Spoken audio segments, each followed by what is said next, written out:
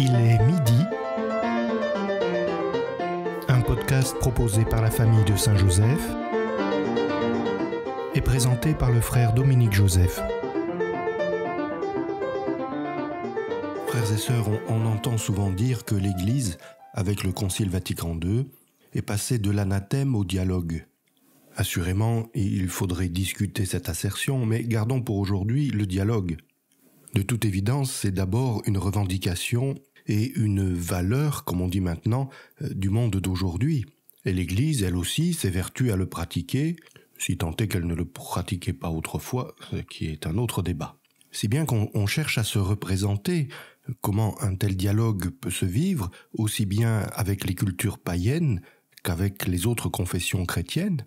Et quand on regarde euh, le spectacle de loin, on peut avoir l'impression qu'il y a une opposition entre deux positions extrêmes, euh, celle qui dirait euh, le dialogue étant essentiellement une ouverture, faisons chacun un pas vers l'autre et nous nous rejoindrons au milieu, et l'autre position qui serait au contraire une rigidification, une manière de camper sur ses idées, mais qui dirait à bas l'idolâtrie, à bas le syncrétisme, euh, restons près du credo.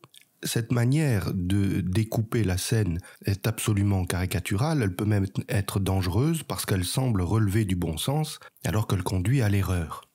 Ainsi aujourd'hui je voudrais convoquer le témoignage euh, d'un protestant, d'un anglican plus exactement, que vous connaissez bien, il s'agit de C.S. Lewis, qui est connu pour ses entretiens radiophoniques, qui sont des exemples d'apologie chrétienne et qui ont été diffusés sur les ondes pendant la Seconde Guerre mondiale, mais qui au auprès du grand public est encore plus connu pour sa série de romans pour enfants, euh, Narnia, notamment portée au cinéma euh, ces dernières années.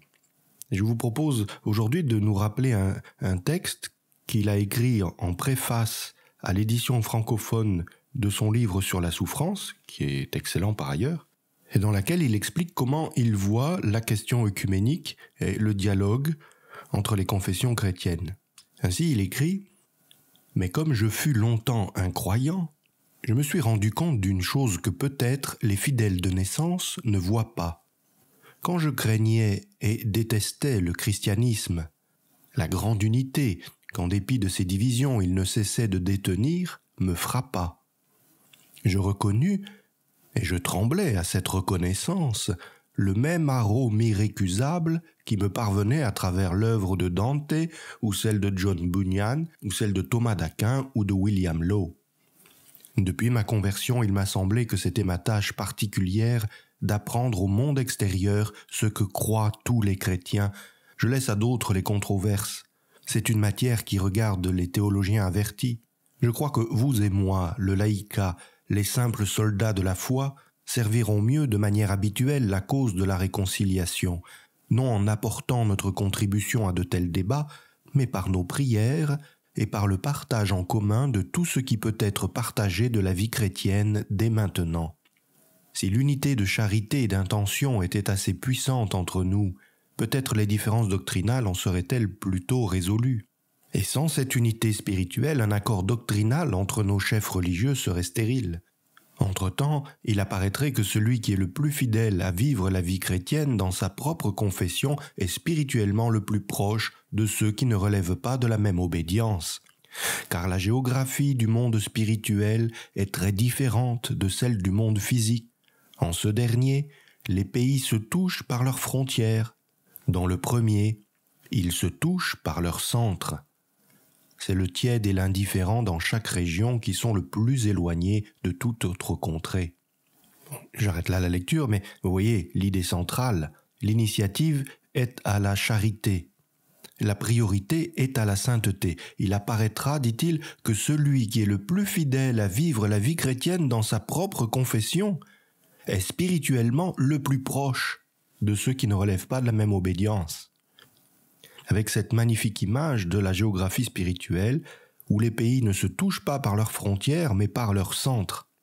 Vous avez tous reconnu dans, cette idée une ligne force de l'encyclique de Jean-Paul II, Utunum Sint, où il appelle chaque chrétien au renouveau et à la conversion, où il exhorte chaque chrétien à vivre la sainteté de sa, de sa confession.